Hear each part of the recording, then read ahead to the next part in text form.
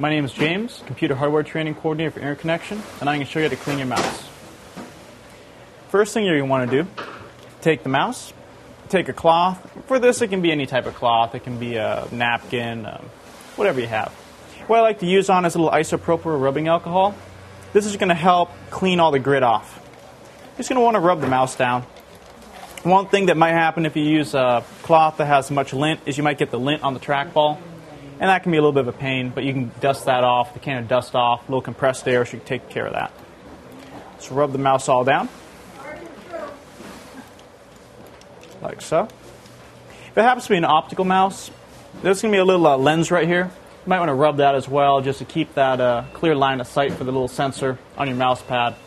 Just a good thing to clean while you're at it.